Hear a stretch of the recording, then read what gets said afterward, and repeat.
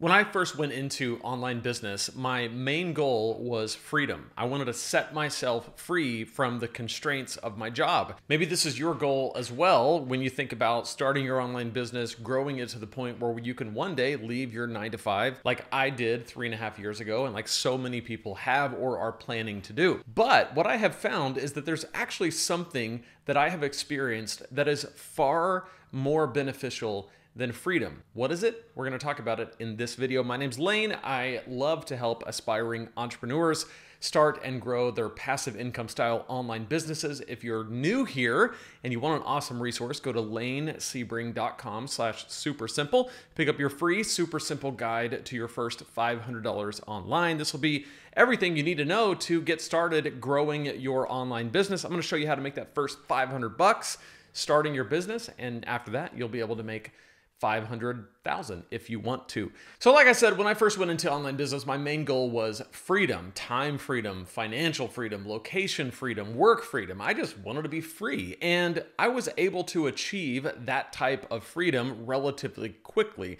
And I'm incredibly thankful to God for that. I know what it is to feel incredibly trapped in my job. In fact, I used to sit in the parking lot of my job and just think about how I wanted a different life. I would sit there before I had to go into work and I would think, I want to have a different situation in life. I do not like this. And so, freedom in terms of location freedom, I have that. I live where I want to live. In terms of work freedom, I have that. I work how I want to work. Financial freedom, I have that. The income is coming in and growing. And all of it is incredibly amazing. But what I have found is that the thing I lacked when I had a job that I now have is related to freedom, but it's actually different. I think it's a bigger motivator than freedom has ever been. And that is this autonomy.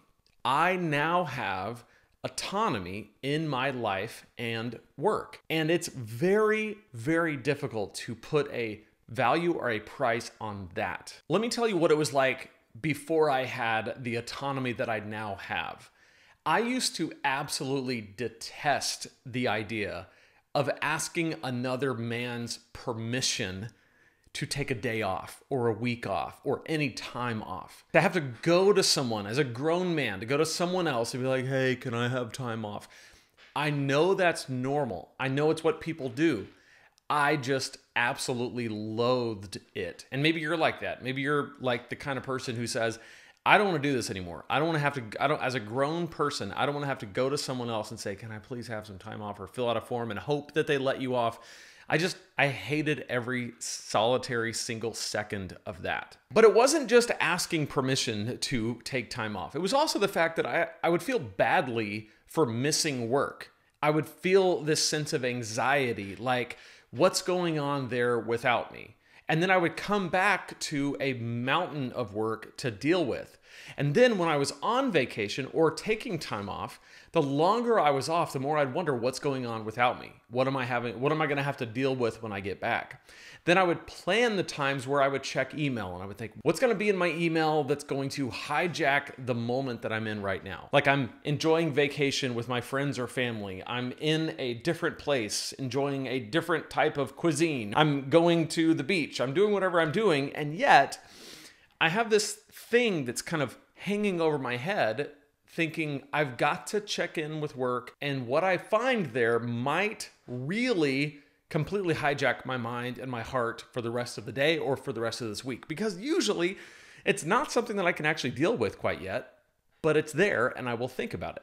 So whether I even had something to think about or not, I didn't like it. Not to mention the fact that sometimes I would have text messages that came through where I couldn't avoid it because you can just choose not to check email. You can't really choose not to check text messages. So when they come through, you just you see them. So that's just one example of the fact that I remember those days when I didn't have a say. And that's really what I think the main difference is. I was free to go on the vacation, but I had to ask to do it. And then I didn't really have a say in how I managed or controlled my time when I was away on vacation, or what I was exposed to, or what I was forced to think about or deal with all of those things were out of my control. So again, there was a lack of autonomy. And maybe you experience the same thing. And maybe that's why you're interested in online business. So I want to paint a picture for you of what my life and work looks like now on this side. What does autonomy look like? How do I define it? And what are the kind of symptoms of autonomy? Because it's really important to define what you want. And when I would sit in the parking lot before work and I would think about how I don't want to be there and I don't want to have to do that thing and I don't want to have to be at a certain place at a certain time and do a certain thing, when I would just sit there and wish for a different life, it was very helpful for me to envision what could this look like if I were to have the kind of life that I actually want. So here they are. Number one, I only do things I like doing. Now, this pertains to my work for sure, but generally speaking, just kind of in life, I just don't do things I don't want to do. And I remember when I had a job, there was all kinds of things that I had to do or be a part of that I just didn't want to. And now I have the autonomy to say, hmm, I'm not going to do that. I only work with people I like working with. When you have a job, you can't really control who your coworkers are. You can't control who is on the team, who's not on the team. A lot of times, if you're working with people as customers or as, you know, in my case, with volunteers that we worked with, because I, I worked at a church, it was a nonprofit. So we worked a lot with volunteers who would serve in different capacities, and I had coworkers and I had people that I worked with. And there were people that I really enjoyed working with for sure. But there's people that I just didn't enjoy working with and were, kind of a drain on me. And when I went into online business, I just made a decision that if I don't really connect with someone, if there's not like a connection or chemistry, I I don't need to continue working with that person because I only work with people that I want to work with. I have fired coaching clients before, like people that wanted coaching from me, and maybe we went down that road and I realized you're not coachable, or I don't want to work with you, or you're not the kind of person that I want to work with. And you can be very selective, especially the further down the road you get. And so I just very, very picky these days about who I work with because time is so limited. You don't get that typically in a job. That kind of autonomy is out of your hands. Someone else, a lot of time, is making those decisions for you, which I, again, hate. This one is a big one. If I'm not good at something, I stop doing that thing, period. If I'm not good at something, I stop doing it. Or if I don't enjoy it, which is another way of saying the same thing, because you typically you're good at the things that you enjoy. But I remember being in jobs where I had to do things that I wasn't actually skilled at doing that were incredibly intimidating. I didn't like doing it. I didn't enjoy it. It was just work, it was drudgery. And so, because I didn't enjoy doing it and wasn't very good at it, the result wasn't good, which made it even more stressful, which caused a lot more anxiety. These days, if I'm doing something that I'm not very good at, I either completely eliminate it altogether, I just stop doing it, or I hire someone who can do it for me. And that autonomy is really nice. If I don't want to work, I don't work, period. So, for example, yesterday it was a Monday in November. My kids were out of school because it's around Thanksgiving and the weather was nice. So, I completely just blew off my work and we went to the beach and we had a beach day. If I had a job Thanksgiving week and we were already going to be off later in the week for Thanksgiving, maybe Thursday and Friday, it would be very difficult for me to just call in and say, "Hey, I'm not coming to work today. I know it's we're we're all working. We're trying to get done before the holiday weekend, but I want to go to the beach today." Probably wouldn't be a thing that I could do. Or at least even if I could do it, I probably wouldn't do it because I was such a conscientious employee. I never wanted anybody to be upset with me. So, I would have just said, "Okay, it's a nice day. You guys have fun at the beach." All go to work. And by the way, wasn't even an option because I didn't live anywhere near the beach like I do now. but now I live at the beach and I get to do what I want when I want to do it. So I blew off work and went to the beach. Along those same lines, I take three to four months off a year. Typically, what this looks like is most of summer, at least when the kids are out of school, most of December. And then different weeks here and there. I don't like to work when the kids are out of school if I can help it. And I like to take a day off, a week off, a month off whenever I want. And what makes this possible is I have a business model that works for me 24 hours a day, seven days a week in the background of my life, where it is a system that generates sales for me so that I don't have to be there present in the moment for this flywheel of income generation to keep working. That is the absolute magic of online business. And it's one of the things that I will show you in the super simple guide at lanesebring.com slash super simple.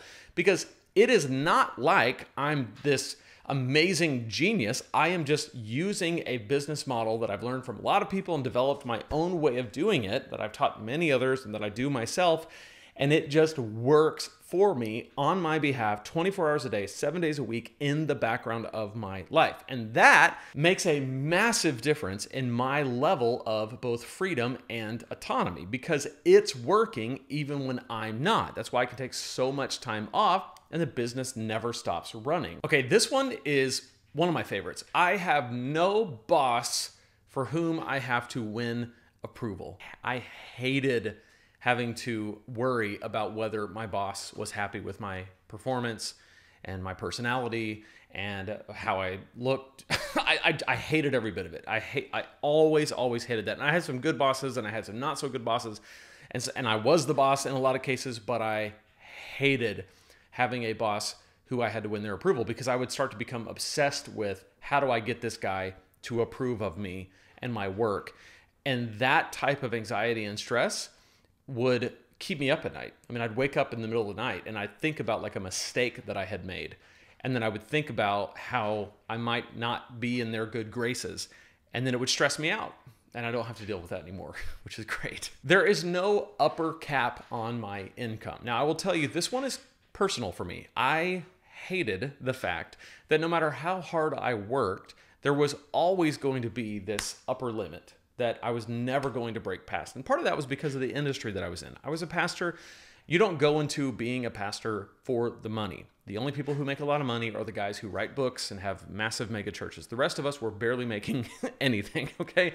And so you don't do it for the money. But as someone who is a go getter and pretty driven, I never liked the fact that I could just work till my fingers bled and I wouldn't make any more money.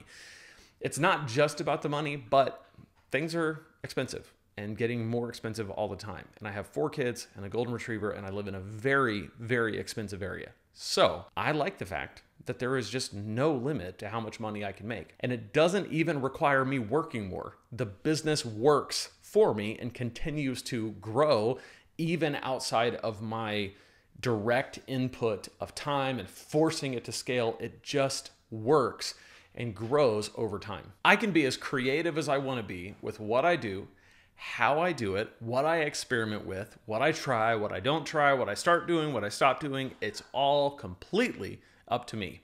And that type of freedom and autonomy in my work opens up all kinds of possibilities. I get to just dream about well, what do I, what do I want to do this year? I went out of town a couple weeks ago to Phoenix to plan out 2024, to write down my goals, my thoughts on what I want to do in terms of products and promotions and content, how I want to serve you, my audience here at Lane Sebring, and also my audience over at Preaching Donkey. Two different online businesses, same exact model that I run. And I just dreamed, and I didn't have to think about, well, is you know, does this fit with the goals of the organization and the vision set by the leader? I don't. It's me. I get to do what I want. You know, as long as it's like legal and ethical, like I get to do what I want. As a creative, as, as an entrepreneur, as someone who has like big dreams, that type of freedom and autonomy, being set free in that way, feels really, really good. Now, you might be thinking, oh, must be nice. Sounds great for you. Awesome. I want to encourage you with this. I'm nothing special, truly. I just found a business model that takes a bit of work up front to set things into motion, but it kind of functions like a snowball rolling down a hill. As the the ball gets going, it's small, right? Like there's not much to it, and you got to kind of push it because it's going to get stuck. Even though it's going down the hill, it's too small to have the weight it needs to kind of push its way down the hill. But if you keep rolling it and pushing it, eventually what happens is gravity takes over. That ball continues to roll. Now it's rolling on its own, and every turn over, it gets bigger and bigger and bigger and if you have a big hill, that ball's going to get really, really, really big. That's the way this works. You're putting in a lot of work up front. You're making content, you're building out your courses, you're growing your audience, you're finding out who you're serving and what you're serving them with and how you're serving them. You're doing all of these things. And eventually you hit this tipping point where you go, oh my gosh, this thing is making a lot of money and it's not requiring a ton from me anymore. And this is incredibly rewarding. And I am hitting that point and it's incredibly exciting. And I love helping people make this kind of thing come alive in them as well. If you've ever been interested in starting your online business, or maybe you have an existing business and you're looking to grow it or scale it to make it the kind of thing that I've been able to create for my work and my life. I'm going to be dropping something in the next couple of days. In fact, the day after Thanksgiving, that you are going to want to see. It is going to be an amazing opportunity for you to jump in headfirst. It's a resource that I've built just for you for this time. It's tested, it's proven, and it will guide you step by step on exactly what you need to do to make all of this happen. The best way that you're going to be able to know about it is to be on my email list. The best way to get on my email list is to go to lanesebring.com slash super simple. You get the free resource and then you'll catch the emails for what I'm dropping on Friday. I can't wait to show you what it is. Just be ready because it could change your life like it did mine. Now, in the meantime, I want to show you in three simple steps how you can go from where you are to a six figure business, at least the way I did it. That video is right here. Check it out.